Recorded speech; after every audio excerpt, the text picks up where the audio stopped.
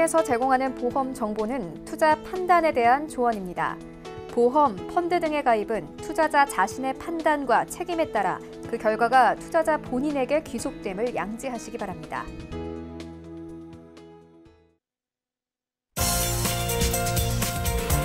네, 보험에 대한 모든 것을 알려드립니다. 전문가 군단과 함께하는 시청자 맞춤형 보험 방송. 안녕하세요. 보험 플랜 119의 진행 민채합니다.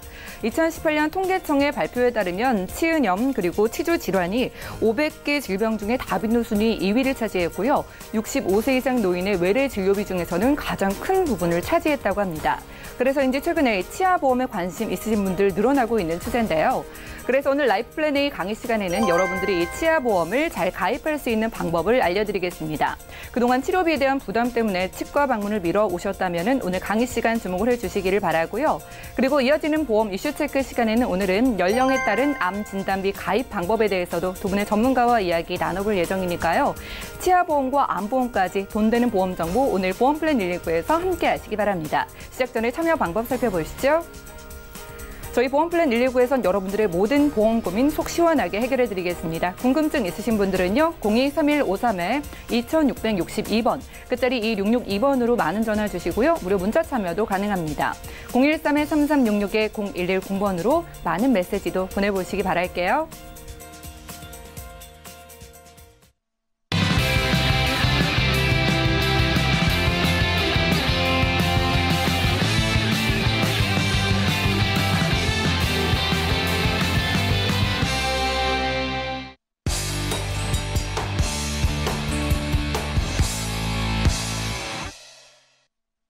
시청자 여러분들의 보험 도우미 보험 플랜 119 시작합니다. 첫 순서는요, 꼭 필요한 보험 보장 항목을 알기 쉽게 짚어드리는 바로 Life Plan A 강의 시간인데요. 나이가 들수록 치과에 방문할 일은 많아지죠. 여러분들 진료비 걱정 없이 치과에 방문하실 수 있도록 치아 보험을 잘 가입하는 방법 알려드릴게요. 김성준 전문가님 만나보시죠. 예, 시청자님 안녕하세요. 오늘은 치아에 대해서 알아보겠는데요. 치주 질환, 특히 이제 치과에 가게 되면은 생기는 일들에 대해서 그리고 치주 질환이 어떤 종류가 있는지 그리고 거, 거기에 걸맞게 어떻게 가입, 보험을 가입하는 게 좋을지에 대해서 한번 알아보겠는데요. 이 치아보험 굉장히 좀 요즘에 이제 치과들 자주 가시게 되게 되고 또 치과를 가시기 전에 좀 치아보험이 어떨까 또 궁금해 하시는 분들 굉장히 많으신데요. 오늘 치아보험의 발전사라든지 그리고 치아보험 어떤 것들이 있는지 그리고 어떻게 보장을 잘 받을 수 있는지 그 부분에 대해서 한번 집중적으로 한번 얘기를 해보겠습니다. 일단은 치아에 대한 치주 질환 증가 추이를 보면 외래 환자 수는 지속적으로 증가하고 있습니다. 90년대, 2013년대 그러면서 평균 34.1%씩 증가를 하고 있는데요. 치과 치료비의 가계 지출의 부담으로 작용을 하고 있어요. 이 뒤에서 나오겠지만은 왜 가계 지출로 부담이 되는지 그리고 치과 병원과 치과 의원의 차지하는 진료비가 굉장히 큰 항목을 차지하고 있는데요. 이렇게 보시면 그래프를 보시다시피 그 치주 질환을 통해서 치과를 찾는 일이 굉장히 많아지고 있죠.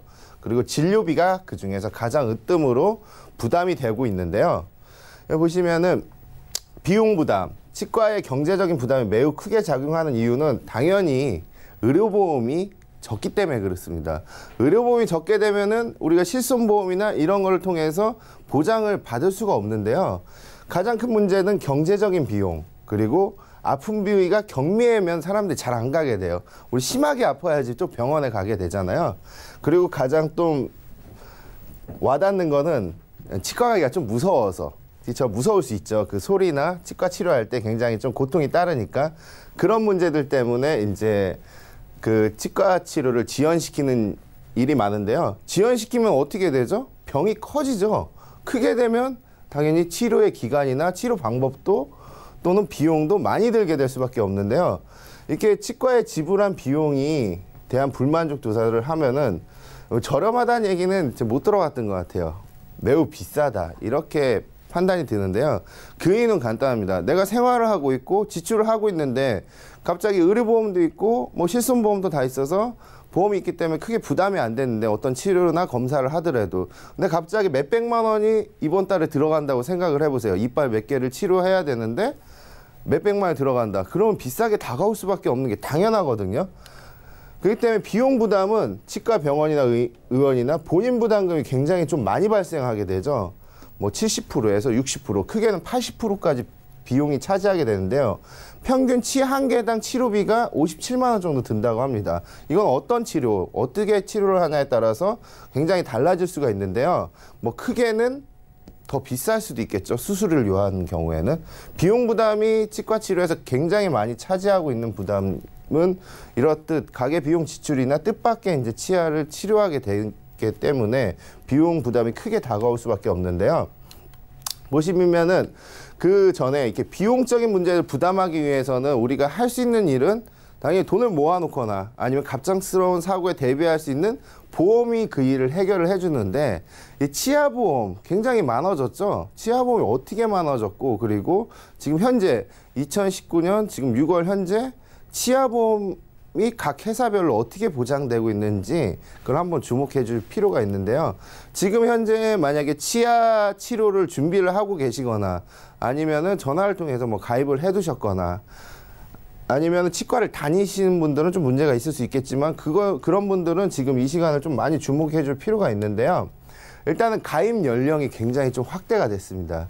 예전엔 60세까지 보장되는 게 70세까지도 보장이 되고 있고 그 이전에 가입하신 분들은 최대 연장을 통해서 80세까지도 가능을 하신데요. 납입 기간이 과거에는 5년짜리 뿐이 없었습니다. 5년 뒤에 축하금을 받거나 환급을 받거나 그리고 치아 보험이 굉장히 좀 미미했죠. 많이 파는 회사도 없었고 막상 가입을 했는데 치과를 가서 보험금을 타려고 봤더니 탈 게 그렇게 크지가 않았어요. 치아 보험이 자체가. 그렇지만 하지만 이제 치아 보험이 바뀌었습니다. 큰 변화가 이루어졌는데요. 이제 납입 기간도 다양해졌습니다. 5년, 10년, 20년까지도 갱신보험을 통해서 병, 그 가입을 하실 수가 있고요.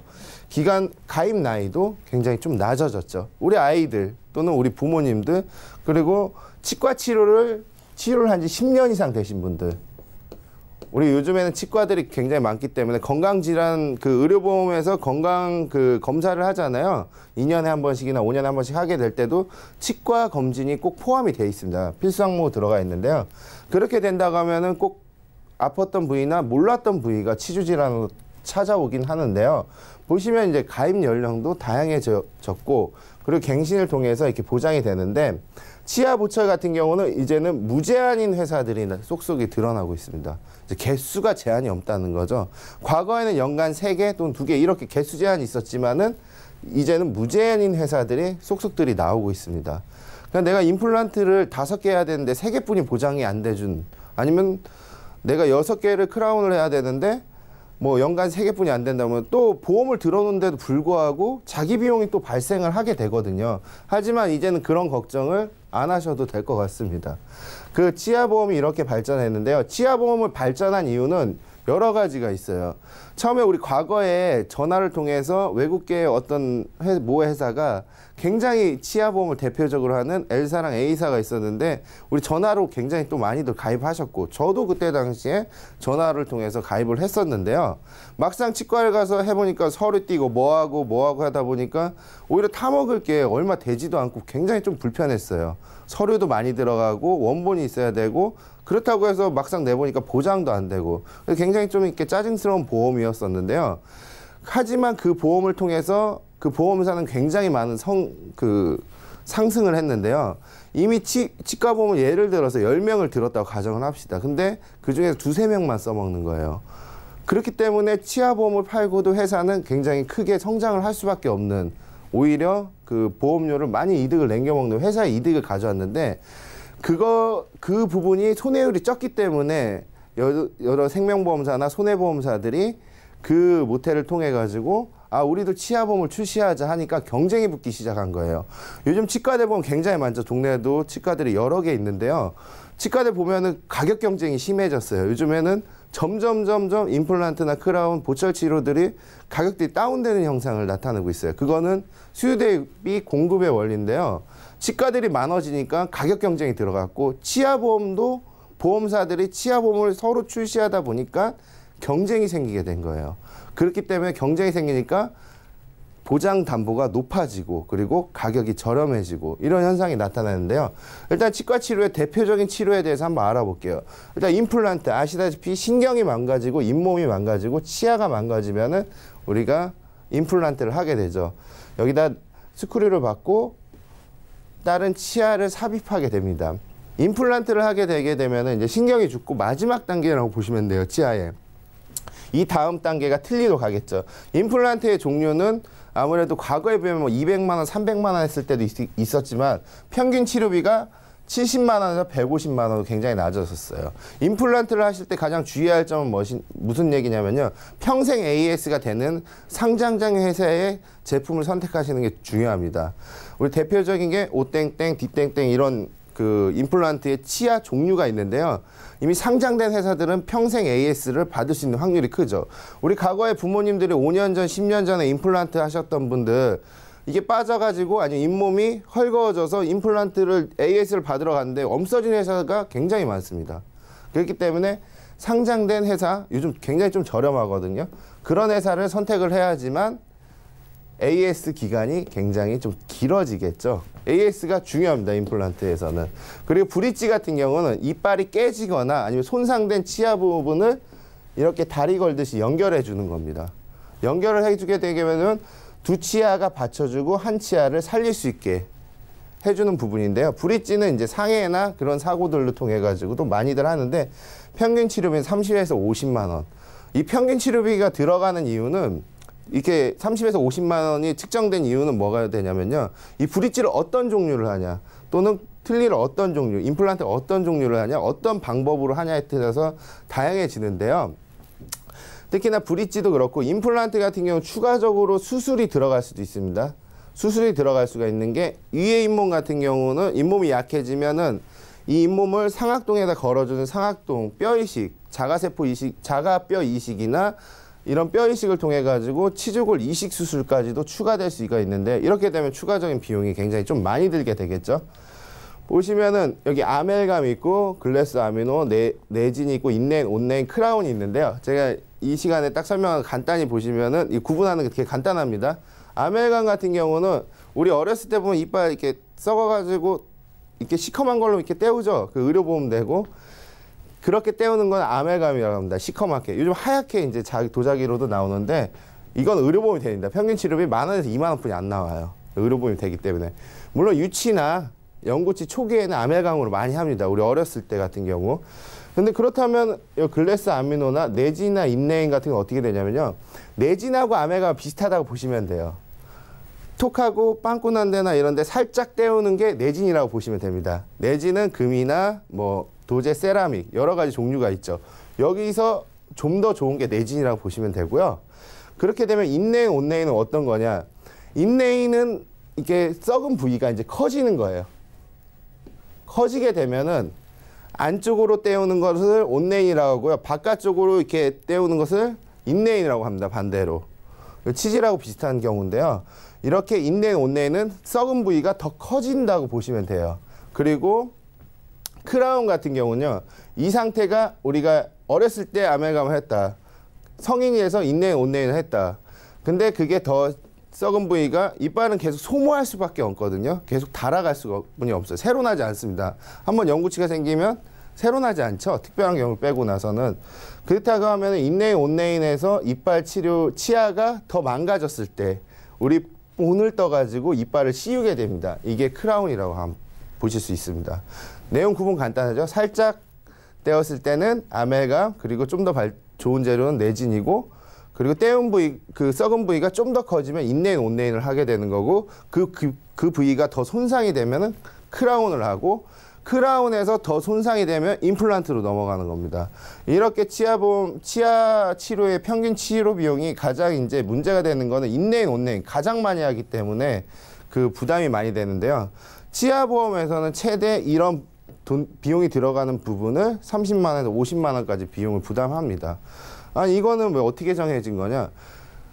우리가 A라는 치과를 갔어요. B라는 치과를 가고 C라는 치과를 갔어요. 근데 C라는 치과 친구가 치과 의사 선생님이세요. 근데 아 친구 오랜만에 왔으니까 공짜를 해줄게 해도 이렇게 보험에서는 정액 보장을 해줍니다. 정액 보장을 해주는 반면이 있고요. 이 비용이 순차적으로 들어가는 거는 그 재료를 어떤 걸 쓰냐에 따라서 금액이 틀려지는 거예요. 예, 도제냐, 세라믹, 이빨 색깔이 나는, 치아 색깔이 나는 그런 부분이냐, 아니면 금으로 씌우냐, 아니면 은으로 씌우냐, 이런 거에 따라서 아니면 지르곤으로 하느냐에 따라서 지르곤 이빨하고 거의 유사한 그런 그런 종류의 재질, 재질인데요. 이걸 최근에 많이 하는데 이게 가장 금보다 비쌉니다. 이런 비용일 때 최대 이제 30만 원에서 50만 원까지도 비용이 발생을 하는데요. 이런 부분, 내가 돈을 내야 될 부분을 치과마다 금액은 틀리지만은 정액적으로 보장을 해주는 게 현재의 치아보험이라고 할 수가 있습니다. 정액 보장, 실손 보장이 아닌 정액 보장입니다. 그렇다면 내가 치아보험을 두 개, 세 개 이렇게 들다고 하더라도 보장은 여러 번 반복적으로 보장을 받을 수가 있겠죠.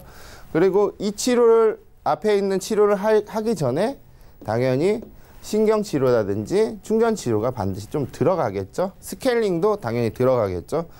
그 스케일링 이전에는 그 엑스레이를 찍겠죠. 바로 나 이빨 상태가 어떤지 보고 그리고 그 상태에 따라서 치아 치료를 일시적으로 하고 그 다음에 보수 작업을 하는 게 보통 치아 치료의 대부분인데요. 이런 부분도 평균적으로 의료보험이 되지만 치과보험에서 추가적으로 교통비 정도는 나오게 됩니다. 보시면은 이제 보장 부위가 이런 치과 치료에 대해서 보장 범위가 굉장히 확대됐는데요. 그 치아 보전, 근거한 치료, 건강보험 적용을 받지만 굉장히 좀 낮은 편이죠. 왜냐하면 건강보험에 보장이 된다면, 어, 그럼 실손보험이 되는 거 아니냐. 신경치료 만 원, 이만 원 내고 실손보험 돼요. 되는데 우리가 의원은 만 원, 그리고 병원은 이만 원, 삼차병 이거는 아니 만 오천 원, 원, 이만 원을 공제하잖아요. 그럼 막상 몇천 원 받으려고 청구하진 않는단 말이에요. 그렇기 때문에 이 치아보험에서 가장 보장 니즈가 가장 큰 것은 보장이 굉장히 중요한데요.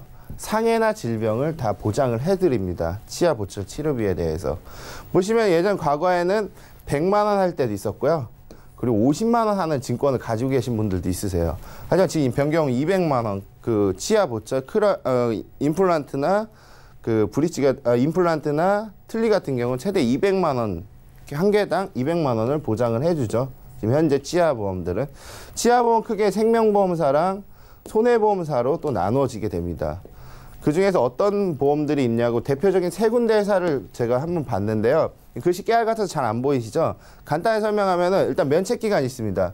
90일의 면책 기간은 어느 회사나 있어요. 이 90일에 관한 거는 대표적으로 크라운이라든지 임플란트, 틀니, 큰 돈 들어가는 치, 치료 보철에 대해서 나타나게 되는데요.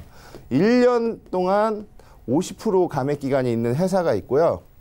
그리고 1년, 2년 미만의 50%인 회사들이 있습니다. 2년 미만. 50%인 회사가 있는데요. 내가 200을 담보를 다, 들었다고 하면은 그 1년 미만에는, 아, 90일이 지난 1년 동안에는 100만 원을 주는 회사가 있고요. 그 이후에는 200을 주는 회사가 있고 2년 동안 100만 원만 주다 2년 이후에 200을 주는 회사가 있습니다. 그리고 개수가 무제한으로 보장되는 그런 회사들이 이제 쏙쏙이 드러나고 있고요. 가급적인 가입하실 때 무제한인 회사를 듣는 게 좋겠죠. 내가 치아 치료를 세 개 이상 할 것 같다. 아니면 과거에 내가 치료를 이미 오래전에 많이 했다 하시는 분은 반드시 무제한이라는 담보가 들어간 회사를 선택하시는 게 좋습니다. 그리고 또 일부 회사는 어, 치조골 이식에 대해서 보장을 해줍니다. 물론 임플란트가 나오게 되면은 치조골 이식이 다 포함되어 있는 거나 마찬가지지만 추가적으로 치조골 이식에 보장을 받을 수가 있는 회사들도 있, 있기 때문에 추가 특약을 선택하실 수가 있습니다. 그래서 대표적으로 보시면 생명보험회사, 손해보험회사가 있는데요. 이게 개수의 제한성이 없고 그리고 내가 앞으로 크라운 치료를 해야 된다. 아니면은 임플란트를 해야 된다. 그리고 몇 개를 해야 될 건지는 이미 치과 치료를 통해서 알 수가 있습니다. 그래서 그거를 어느 정도 기간을 참을 수 있는 기간이 된다고 하면은 이렇게 개수 제한이나 아니면은 어떻게 치료를 할 것인지 계획을 잡고 치아보험도 거기에 맞게 준비하는 게 굉장히 좀 중요한데요. 이 면책 기간 중요하시고요. 그리고 1년 이내 또는 2년 이내 개수가 몇 개, 어떻게 보장되냐가 굉장히 좀 중요하겠죠.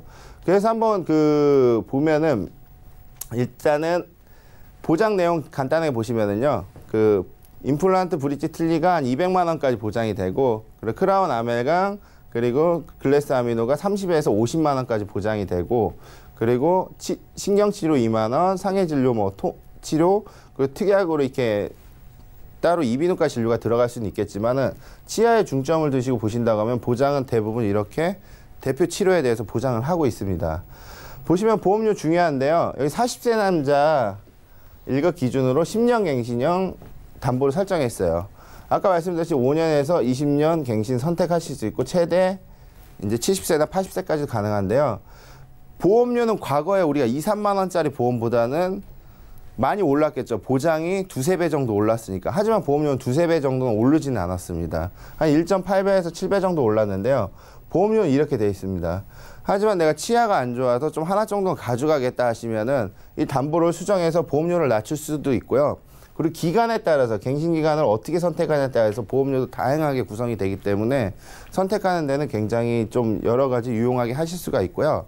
그렇기 때문에 치아보험을 준비하실 때는 이렇게 개- 각 회사별로 좀 담보를 비교해 보시고 한 만약에 내가 당장 치료할 게 큰 돈이 들어간다면 한 두 개 정도 여유가 되신다면 두 개 정도 준비하셔서 같이 치료를 받고 보장을 받으신 다음에 그리고 가장 중요한 건 치아보험 평생 한 개 정도 가져가면 괜찮겠지만은 치아 치료를 하고 나서 엄세별로도 될 정도로 단타적으로 활용하실 수 있는 부분도 있기 때문에 치아보험을 가입하실 때는 여러 가지 회사를 비교해 보고 그리고 치아 담보 내가 어떻게 계획을 짤 건지 그리고 단기적인 치료잖아요. 그런 부분 잘 확인하셔서 하시면은 치아보험을 가입하는데 좀 더 유용할 것 같습니다. 네, 지금까지 김성중 전문가와 라이프 플랜 A 강의 시간 함께했습니다. 타고나는 오복 중에 하나라고 부르는 치아. 하지만 나이가 들수록 이 치아 때문에 고생하시는 분들이 정말 많은데요. 그 중에서도 가장 큰 부담이 치료비입니다. 이 치료비에 대한 부담을 말끔하게 덜어보시라고 오늘은 치아 보험을 잘 가입하는 방법 알려드렸는데요. 이 문제가 생기고 나서는 늦을 수도 있으니까 빠르게 연락 주시고 든든하게 준비를 해보시기 바랍니다. 저희는 여러분들의 모든 보험 고민도 해결해 드리고 있습니다. 크고 작은 고민 상관없이 전화, 문자 연락 주신 다면 자세한 상담 도와드릴게요. 강의 내용 정리해드리고요. 보험 이슈 체크 시간 이어갑니다.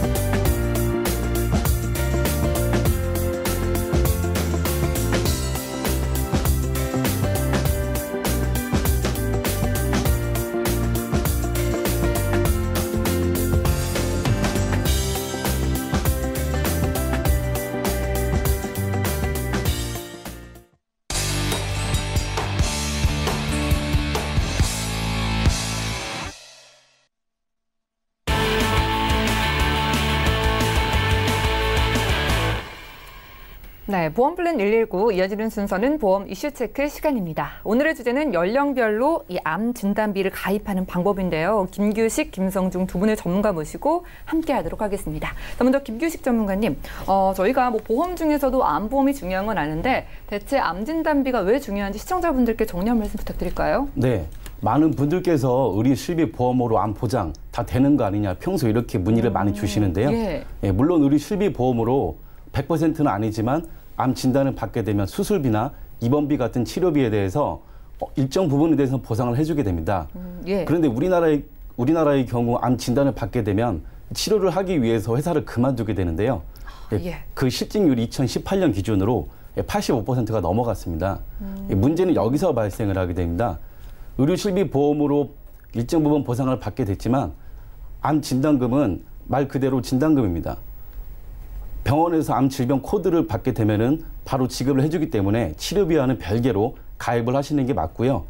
가족 구성원 중 한 명은 옆에서 계속 간병을 해줘야 되기 때문에 암 진단비는 많으면 많을수록 좋겠습니다. 음, 그렇군요. 예, 물론 이 실비가 일부 보장을 해주긴 하겠지만 우리가 암에 걸리게 되면 대부분 실직을 하게 됩니다. 그렇기 때문에 더욱더 많은 돈이 필요하고 큰 진단비가 필요해 보이는데요. 자, 그럼 김성준 전문가님, 이 암보험이 언제 가입을 하면 좋은지 궁금하고요. 이왕 할 거면 잘하는 게 좋은데 어떻게 하면 잘 가입할 수 있을까요? 아, 예. 일단 암보험 가입하는 팁 같은 경우는 요즘 실손보험하고 암보험은 누구나 다 하나씩 갖고 있을 정도로 많이들 가입을 하셨는데요. 음, 맞아요. 예.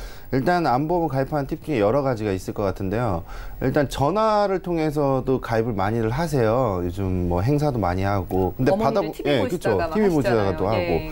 근데 암보험은 일단은 가입하기가 굉장히 좋아졌어요. 이 어떤 질병이 있더라도 요즘에 암보험은 누구나 또 가입을 할 수가 있고요. 암보험이 올 그 7차 경험생표 발표되면서 한 14% 회사별로 16%까지도 최대 좀 저렴해진 반면에 오, 예. 그리고 유사암 그 갑상선 경계성 제자리 그런 암들 연기암들이 또 일반암처럼 보장이 되는 그런 회사들이 있거든요.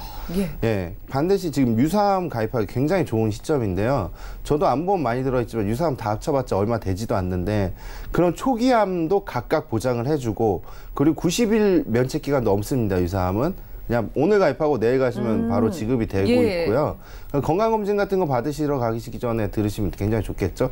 그리고 일반암 같은 경우는 모든 암이 90일 이후에 1년 미만 뭐 50%, 2년 미만 50% 그런 게 없어진 회사들이 굉장히 많아요. 90일만 지나면 내 2천만 원 들으면 2천만 원 다 나오고. 오, 네, 그렇기 예. 때문에 암보험 굉장히 좋아졌는데 잘 가입하는 요령은 일단은 기본적인 내 그 자산 형태나 이런 걸 보고 그 중요한 진단비잖아요. 중요 진단비기 때문에 그 금액을 적절하게 이제 내가 낼 수 있는 비용 그리고 소득 소비에 맞게끔 측정을 하시고 나서 비갱신형으로 가급적은 일단 하나를 가입하시기 좋습니다. 비갱신형으로 평생 가져갈 예. 수 있는 암보험 하나 가입하고 그리고 이제 뭐 전화로 가입하거나 이렇게 싸고 저렴한 것은 보시면은 소외감이나 뭐 특정 소외감, 생식기암 이런 암들을 막 구분해 놨어요. 고해감이라든지 모든 암을 다 암으로 주지 어, 분리한 않고 예. 분리를 막 예. 해놨어요.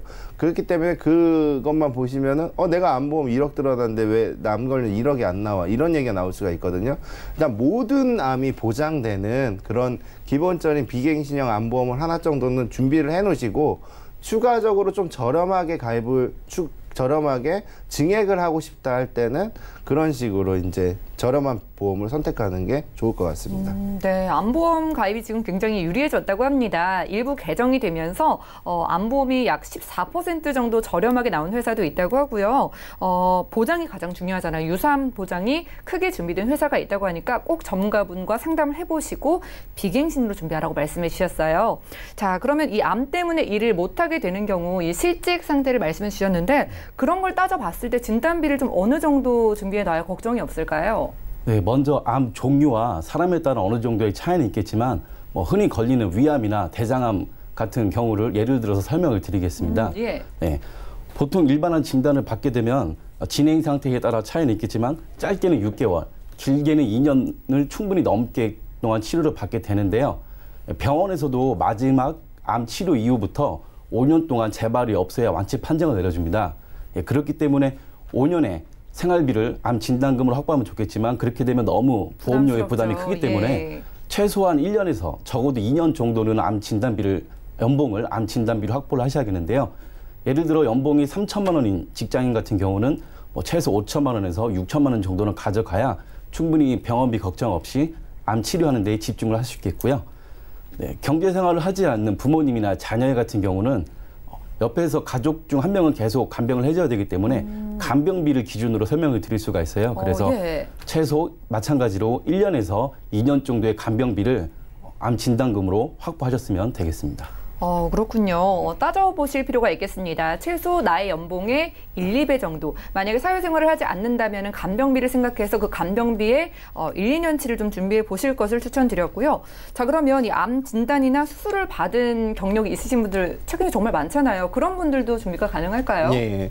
어, 과거에 우리 한 1년 전만 보더라도 이제 암이 5년만 지났더라도 이제 심사를 통해서 가입을 했는데 그 서류나 이런 암을 한번 수술을 했거나 진단을 받았다고 하면은 그 대학병원에 서류가 얼마나 많겠어요. 그걸 그러니까요. 떼러 가려면 예. 또 담당 교수도 만나야 되고 또 서류도 떼야 되고 비용적인 부분, 시간적인 측면 또 교통비 이런 게 굉장히 여러 가지로 불편해서 아유 안 들어버린다 뭐 이런 경우도 많이 있었는데요. 예. 근데 지금 같은 경우는 이제 암 유병력이 있어 있더라도 가입이 가능하세요. 5년만 오, 지났다고 하면은 예. 5년 내에 이제 사고력만 보기 때문에. 근데 이 점은 하나 좀 중요한 팁 중에 하나인데요. 만약 내가 A라는 회사에서 암 진단장을 받았어요. 예. 그 회사에서는 가입을 아마 거절하게 될 겁니다. 음. 어, 약 가입 기준에 알릴 의무에 그 부합하지도 않는데 왜 거절을 하냐 했, 더라도 어, 예. 암이 있던 환자들에 대해서는 보험회사 그렇게 관대하지가 않아요. 이제 물론 가입 그 알릴 의무에 대해서는 관대하지만은 예. 만약 이 사람이 암이 있었던 거를 뭐 타사를 통해서 전사를 통해서 알게 되면은 뭐 이렇게 그렇게 썩 반기지는 않습니다. 그 가입에 대해서 좀 보류를 시키거나 뭐 요즘에 다 가입이 가능하긴 하지만 음. 예. 그런 경우가 있기 때문에 가급적이면 유사암도 많이 주고 일반암도 많이 주는 암보험을 택하는 게 중요한데요. 암이 걸렸던 분도 수술했던 분들도 5년이 넘으면은 가입이 가능하시고요. 어떤 회사는 직업도 아무것도 안 물어봐요. 어떤 어, 질병, 예. 중급병이 있어도 그냥 5년 내 암만 있냐 없냐 이렇게 물어보는 회사도 있고 어떤 회사들은 그냥 5년 그 암이 있었냐 없었냐 그리고 중대 질환이 없었냐 해서 가입을 가능한 경우도 있는데요.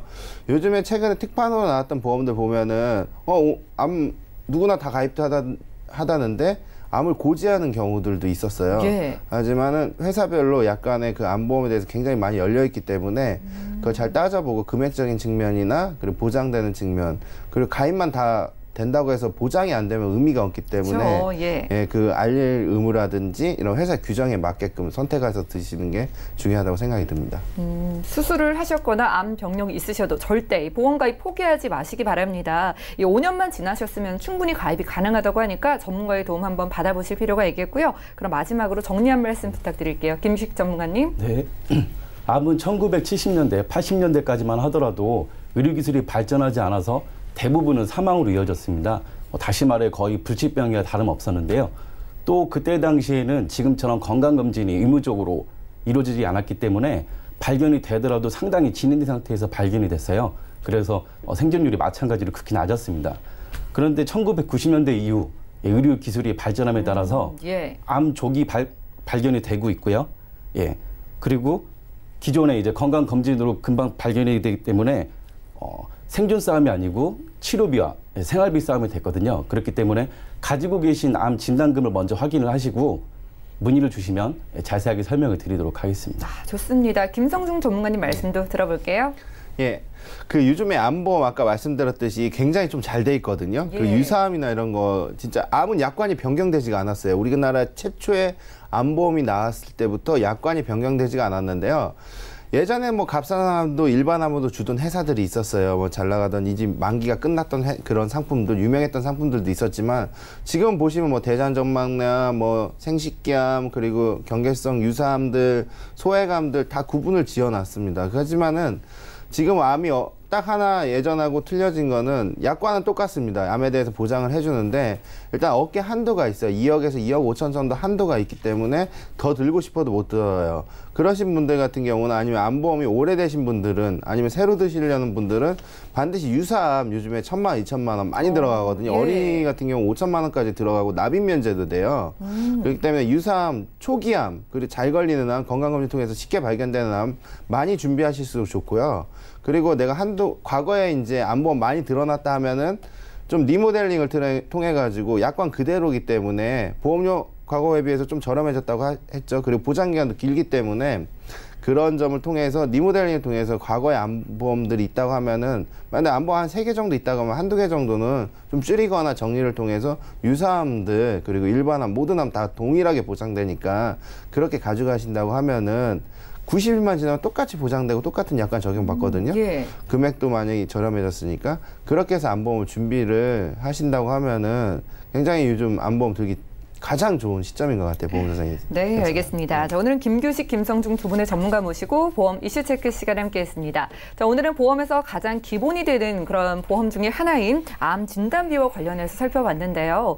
자, 이제 완치율이 높아졌지만 실직이 따라올 수도 있는 만큼 어, 생활비까지 확실한 대비가 필요할 것 같습니다. 암보험 없으신 분들은 물론이고 암보험 가지고 계셔도 내가 충분한 진단비를 가지고 있는지 전문가의 상담 받아보시기 바라고요. 저희가 제공해드리는 정보는 투자 판단에 대한 조언일 뿐 해당 보험의 가치와 수익률은 보장하지 않는다는 점도 기억을 해주시기 바랍니다. 자, 여러분들은 지금 맞춤형 보험 솔루션 프로그램 보험 플랜 119와 함께하고 계신데요. 전화 주시거나 문자 보내주시기 바랍니다. 저희가 어, 여러분들이 상세하게 상담 도와드리도록 할게요. 먼저 한 분 전화 연결돼 있다고 하는 게 받아보겠습니다. 여보세요. 네, 네 여보세요. 예, 시청자님 연결되셨어요? 예, 자, 예. 어떤 보험에 대한 이야기 나눠볼까요? 아, 제가 지금 보험을 두 개 가지고 있는데요. 예. 지금 금액을 보험 원리금을 좀 낮출 수 있을까 해서요. 음, 보험료가 좀 부담이신 것 같은데요. 지금 21만 원 정도 되네요. 예, 예. 어, 알겠습니다. 자, 그럼 이 21만 원이 지금 가입 당시의 보험료인가요? 네. 음, 그렇군요. 자, 보험료가 좀 어느 정도 줄어들면은 부담이 지금 좀 안 되실 것 같나요? 그래서 뭐 많이 줄어들면 많이 줄어들수록 좋겠죠. 네, 그런데 보장도 중요하잖아요. 혹시나 신경 쓰고 싶은 보장 따로 있으실까요? 지금 보장이 좀 괜찮은 것 같아서 보장은 유지하면서 좀 금액을 좀 음, 낮출 수 있을까 해서요. 알겠습니다. 자, 올해 나이가 어떻게 되실까요? 저는 36입니다. 네, 36이시고요. 알겠습니다. 저희가 김규식 전문가님 연결해 드릴게요. 잠시만 기다려 주세요. 네. 네, 시청자님 증권 함께 확인부터 해보시죠. 자, 올해 36이신 남성분의 증권 살펴보겠습니다. 이 삼성생명에서 종신보험을 특약은 80세 만기로 준비해 주셨고요. KB 손해보험에서는 단독 실비를 1년 갱신으로 준비해 주셨네요. 월 납입되는 보험료는 21만 원입니다. 자, 문의사항 확인해 보죠. 어, 보험료가 좀 부담이 된다고 하시네요. 하지만 보장은 그대로 잘 가져가고 싶기 때문에 김규식 전문가님께서 확인해 주실까요? 네, 시청자님 안녕하세요. 네, 안녕하세요. 네, 지금 보험 증권 저희가 먼저 받아봤고요. 먼저 네. 손, 어, 단독 실비부터 볼게요. 지금은 어, 단독 실비가 예전에는 그렇지 않았지만 지금은 어, 별도로 가입하고 싶지 않은 게 있는데 실비를 특약으로 넣는 경우가 있었는데 지금은 단독 실비로 이렇게 따로 가입할 수가 있어요. 그렇게 해서 15,000원 요거는 괜찮게 가입을 하신 것 같고요. 계속 어, 갱신은 되겠지만 계속 유지를 하셔야겠고요. 그리고 보험료가 부담되신다고 하셨어요. 삼성생명 거 지금 있는데 지금 주계약 그러니까 사망 보험금이 일반 사망으로 1억 원이 가지고 계세요. 그래서 네. 지금 상황에서 21만 원 내고 계신데 보험료를 줄일 수 있는 방법은 이 주계약 부분에 대해서 감액을 좀 하셔야 될 것 같아요. 아, 예, 지금 1억 원인데 회사별로 조금은 다르지만 막 4천만 원까지 주계약을 낮추시면은 보험료가 절반 미만으로 떨어질 거예요. 19만 5천 원인데 뭐 10만 원 미만으로 떨어질 거고요. 일단 그렇게 해서 첫 번째로 낮추실 수가 있고 그리고 특약을 보시면 지금 80세 만기로 돼 있거든요. 네, 생명보험사는 대부분 아, 전부 다 그런 건 아니지만 대부분은 이렇게 80세까지가 만기가 된 경우가 많아요. 그렇기 예. 때문에 이 특약 부분에 대해서도 주계약은 감액해서 주- 두시고 그리고 특약에 대해서는 그 생명 쪽 말고 손해보험사로 가시면 100세 만기로 가져갈 수가 있거든요.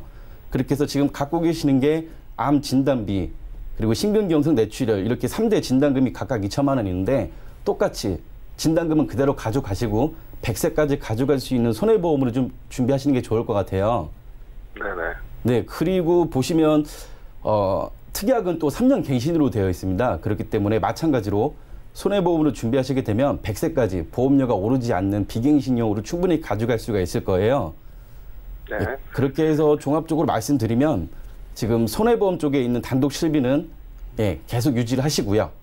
그리고 삼성생명에 있는 종신보험은 주계약은 1억에서 4천만 원으로 낮추시고 그렇게 되면 보험료가 절반 미만으로 줄어들 거예요. 그렇게 하고 특약 부분에 대해서는 같은 것들은 이제 손해보험사로 보험료가 오르지 않고 100세까지 보장될 수 있는 이렇게 준비를 하시면 예, 충분히 보험료도 아끼고 보장도 그대로 가져갈 수 있겠습니다. 어, 시청자님 잘 듣고 계시죠? 네네. 자, 이 자리에 지금 김성중 전문가님 계신데 조금 이어서 이야기 들어보세요.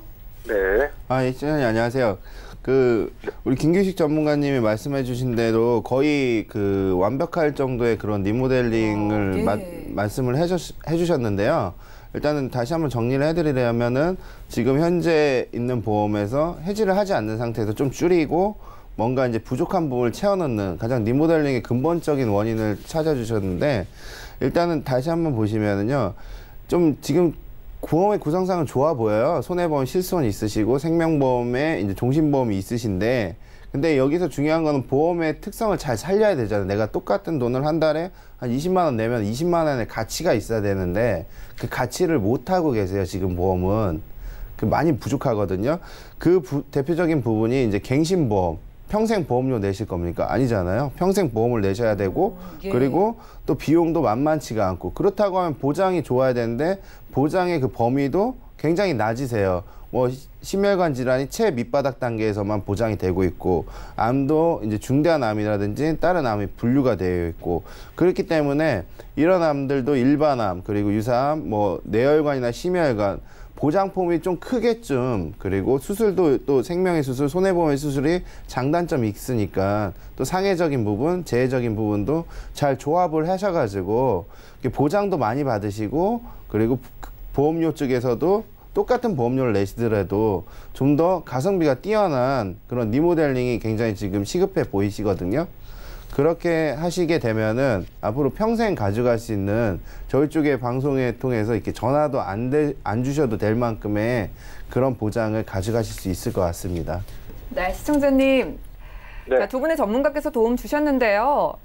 예, 생각하신 네. 대로 보장 자체에 큰 문제는 없었지만은요, 이 보험료를 줄이신다면은 주계약 부분을 줄이고 이 특약에서 뭐 갱신되고 만기가 짧은 부분을 이렇게 빼신 다음에요, 어, 이 백세 만기 비갱신으로 채워주시면은요, 보장은 플러스되고 보험료는 마이너스 되신다고 김규식 전문가님께서 의견 주셨고요. 네. 김정, 김성중 전문가님께서는요, 보장 자체의 문제라기보다는 같은 돈으로 또 크게 준비할 수 있는 방법도 있다고 하니까 생각해 보시고 방송 끝나고 또 상담 받아보세요. 네, 알겠습니다. 네, 감사합니다. 전화 주셔서 감사하고요. 저희 지금 전화 연결 만나봤습니다. 저희가 제공해드리는 정보는 투자 판단에 대한 조언일 뿐 해당 보험의 가치와 수익률은 보장하지 않는다는 점 기억을 해주시기 바라고요. 여러분들 보내주신 문자도 하나 열어보죠. 자, 2호 하나 이님께서 보내주셨습니다. 7년 전에 갑상선암 수술을 받았습니다. 이후에 1년에 두 번씩 주기적으로 검진을 받고 있는데 암보험 가입 가능할까요? 자, 김성중 전문가님, 이렇게 7년 전에 암병력 있으신 분 암보험 준비 어떨까요? 어, 7년 전에 이렇게 진단을 받으시고 어, 수술을 좀 많이 하셨네요. 보통 갑상선암에 걸리게 되면은 어, 이 시청자님 같은 경우는 이럴 것 같아요. 갑상선암의 그 부위가 크게 되면은 완전 절제를 해버리든가 이렇게 하거든요. 1년에 두 번 주기로 수술을 했다고 하면 처음에는 미미했는데 그게 좀 더 커지고 해서 두 번 정도 수술을 한 것 같은데요. 일단 갑상선암 수술 받았다고 하면은 아까 말씀드렸듯이 5년 내에 암만 없다고 하면은 그 법적인 그리고 약관상의 알릴 의무에 문제는 안 되세요. 근데 보험회사가 이걸 받아주냐 안 받아주냐가 쟁점이 될 것 같은데요. 일단은 우리나라 보험회사 굉장히 많습니다. 그리고 암보험 서로 지금 저번 달부터 굉장히 좀 경쟁을 하고 있는데요.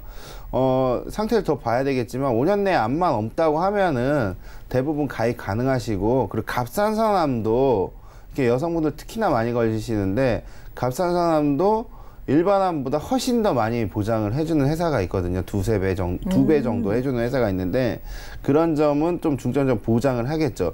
만약에 혹시라도 갑상선 완전 제거했다고 하면은 갑상선암에 대한 보장은 사실상 필요가 없을 수도 있습니다. 어, 예. 예, 그 정도에 따라서 모든 암이 보장되는 그리고 만약 갑상선이 아직도 문제가 있다고 하면은 그 갑상선암도 더 보장이 될 수 있는 보험을 선택하시는 게 중요할 것 같습니다. 음, 네, 역시나 5년이 지나셨기 때문에 가입은 가능하지만 회사별로 좀 꼼꼼하게 알아보실 필요가 있겠습니다. 제거를 하지 않으셨다면 갑상선 쪽으로 좀 크게 준비해 보시기 바라고요. 다음 문자도 살펴보죠. 자, 7234님께서 보내주셨네요. 35세 남성입니다. 현재 암 진단비 2천만 원이 있는데 적정한지 궁금합니다. 자, 이슈 체크 시간에 김유식 전문가님과 짚어봤는데 이분의 나이에 이 진단비 좀 부족할까요? 네, 이슈 체크 시간에 제가 말씀을 드렸는데요. 지금 35세 남성이시면 지금 활발히 경제 활동을 하시고 계실 거예요. 음, 예. 그래서 먼저 확인할 거는 암 진단비가 2천만 원인데 이게 일반암하고 유사암이 나눠지는지부터 봐야 될 것 같고요. 그리고 최소 암 진단을 받게 되면 또 회사에서 어, 실직을 하게 되는데 그렇게 되면 암 치료 받는 기간 동안은 소득이 없으니까 예, 최소 1년에서 2년의 연봉을 가져가셔야 되는데 말씀드렸던 것처럼 연봉이 3천만 원이라면 최소 5천에서 6천만, 정, 6천만 원 정도는 가져가셔야 암에 대해서 집중적으로 치료를 하고 부담 없이 예, 가져갈 수 있겠습니다. 네, 좀 체크해 보실 사항 있겠습니다. 1, 2년치의 연봉이 준비돼야 되는데 어, 생각보다 부족할 수도 있을 것 같아요. 상담 받아보시기 바라고요. 다음 문자도 살펴보죠. 자, 9765님께서 보내주셨습니다. 제 부모님 나이가 64세신데요. 얌진단비를 얼마까지 가입할 수 있을까요? 자, 김성준 전문가님, 이분 가능한 최대 보장 금액이 궁금하신 것 같아요. 네. 어, 64세라고 하면은 이제 남성과 여성은 뭐 크게 차이는 나진 않겠지만은 일단은 얼마까지 가입할 수 있는 한 증권당 보면 보통 2천에서 4천만 원 정도까지도 준비는 하실 수가 있으세요. 어, 예. 64세라고 하더라도. 근데 내가 뭐 회사를 두세 군데 가입하면 1억도 할 수 있고 뭐 당연히 2억도 할 수 있는데 이제 보험료가 좀 부담이 되실 거예요. 64세라고 그쵸, 예. 하면은. 그럼 이렇게 하시는 게 좋아요. 64세하고 70세 사이는 어, 생명보험에서는 뭐 15년, 20년 뭐 이렇게 갱신형이나 이런 것도 있겠지만은 아까 말씀드렸듯이 안보험은 손해보험이 당연히 일반암 모든 암이 보장되기 때문에 손해보험 쪽이 유리하신데 현재로서는 그러면은 소, 손해보험에서 64세에서 70세 구간은 좀 애매한 나이기도 해요. 왜냐하면 우리 기본 담보가 들어가는데 안보험만 딸랑 있는 경우도 있겠지만은 그 상해 사망이나 뭐 이런 기본적인 게 조금은 들어가거나 한 100만 원 아, 정도는 예. 몇백 원, 몇십 원 들어가는데 그 담보의 규칙상 납입 기간이 보통 질병 상황 우리나라 손해보험 80세가 만기세요. 그리고 상해는 100세나 110세인데 그러면은 지금 64세에서 20년 납을 하게 되면 84세 그 주계약 부분을 초과하게 되는 공식이 그러네요. 깨져버리게 예. 되거든요. 그럼 15년 납이나 10년 납만 되시는 거예요. 그렇게 되면 보험료 좀 부담될 수가 있어요. 아, 낮게 예. 좁아지니까. 그렇게 되면은 이제 15년 납을 하더라도 뭐 80세는 적으니까 90세 만기, 이렇게 만기를 좀 줄이는 방법도 있고요. 또 어떤 경우에는 안보험만 전용적으로 들어가는 상품 같은 경우는 어 20년 납 90세 만기를 해도 만약에 저렴하지만은 30년 갱신형으로 해도 뭐 저렴한 회사도 있어요. 20년에 30년 갱신. 그 대신, 그 대신 한 만 원 정도 저 5만 원이다, 4만 원이다 만 원 정도 저렴하지만은 비갱신형이 아무래도 좀 전체적으로 보면 좀 저렴하겠죠. 그렇게 준비를 하실 수가 있는데 그 암진단을 가입할 때는 금액적인 부, 부담이 되기 때문에 기간이나 회사의 특성을 잘 살려가지고 금액을 조절하시면 괜찮을 것 같습니다. 네, 뭐 2천에서 4천까지 충분히 가입이 가능하지만은요 보험료에 대한 부담이 있을 수 있으니까 연락 주시면 보험료 줄일 수 있는 방법 알려드릴게요. 하나 더 살펴볼까요? 자, 4540님께서 보내주셨네요. 저는 40세 남성입니다. 암진 단비를 5천만 원까지 준비하려면 보험료가 얼마나 될까요? 라고 질문 주셨는데 어떻게 될까요? 네, 너무 광범위한 질문을 주셨는데요. 그러네요. 예, 예. 기본적으로 회사별로 어느 정도의 차이가 있겠고 만기가 80세냐, 90세냐, 100세냐에 따라 좀 차이가 있겠고 그리고 갱신이냐, 비갱신이냐에도 다름에 따라 차이가 있겠는데요. 어, 기본적으로 100세 만기, 40세이시니까 100세 만기 비갱신형으로 20년 납부를 기준으로 설명드리면 어, 일반적으로 회사별로 조금 차이점은 있겠지만 암 진단금 천만 원당 만 오천 원에서 이만 원 정도는 생각을 좀 하셔야 될 것 같아요. 그렇게 하시면 암 진단비 오천만 원 가져가시게 되면은 칠만 원에서 한 구만 원 정도는 생각을 좀 하셔야 될 것 같습니다. 네, 그렇군요. 회사별로 그리고 가입 조건에 따라 다르겠지만 대략 7만 원에서 9만 원 정도 생각해 보시면 된다고 합니다. 오늘 상담 여기까지고요. 다시 한번 참여 방법 살펴보시죠. 자, 방송 끝난 이후에도 보험 고민 해결해 드리겠습니다. 궁금증 있으신 분들은요. 023153-2662번으로 많은 전화 주시고 또 무료 문자 번호 013-3366-0110번까지 많은 이용해 보시기 바랍니다. 자, 오늘 함께 해주신 두 분의 전문가와도 여기서 인사 나누고요. 오늘도 저희 보험 플랜 119 끝까지 함께 해주신 여러분 고맙습니다.